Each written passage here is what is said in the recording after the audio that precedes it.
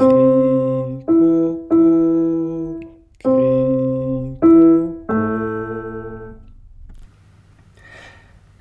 and welcome to another episode of Critical Coffee Considerations with me, Francis Peck.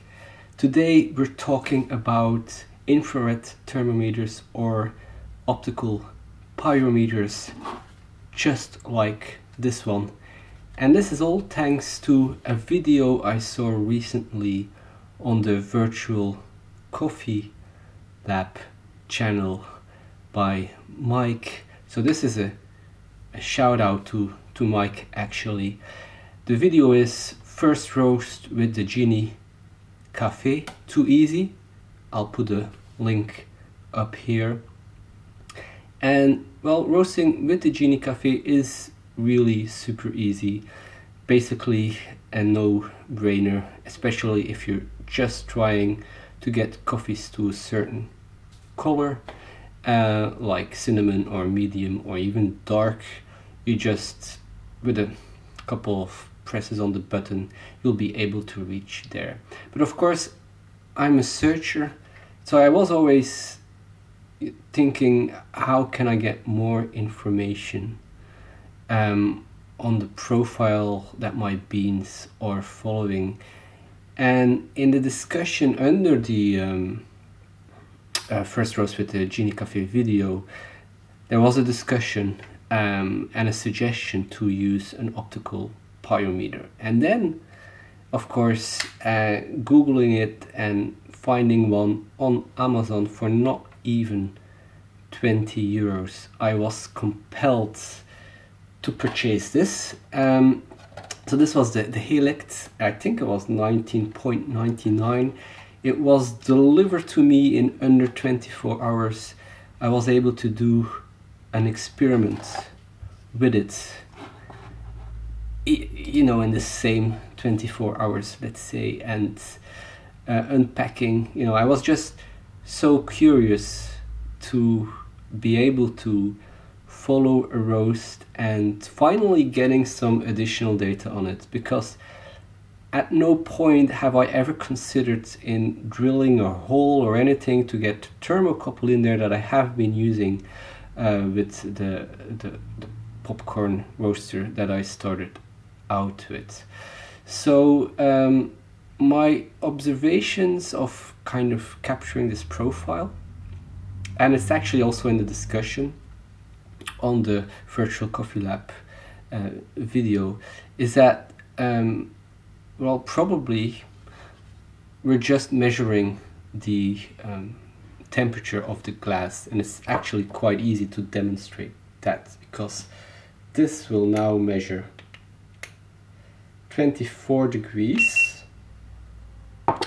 and I put some hot water in here. So at this point it's it's still measuring 60 degrees and if we hit it like this it's going to be just a little bit less.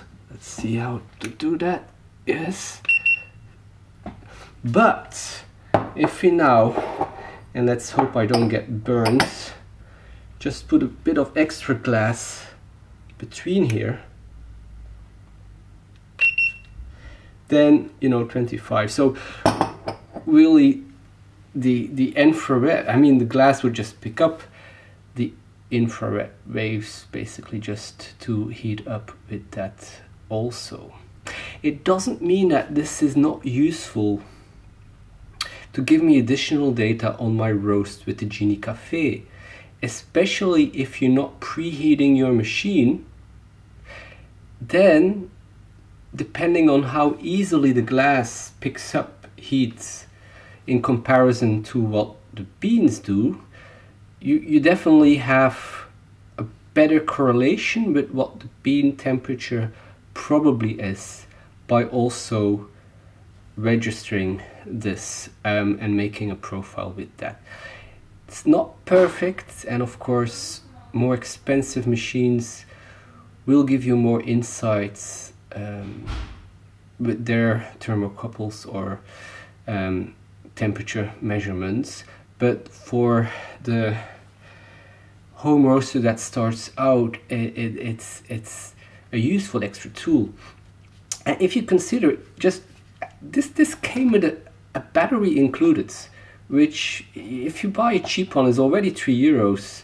You, you can even buy um, rechargeable battery. So it's this kind of 9 volt one, as you can see here, for 20 euros, which would be the same price as, as having this uh, very cool um, device.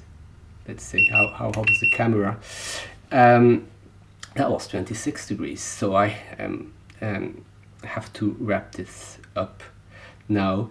But um, I'll use this in the future also with my popcorn roastings uh, as there I don't have any uh, glass obstructing my line of sight. So to investigate the different beans I have and how easily they take up heat, I do think this was a good small investment.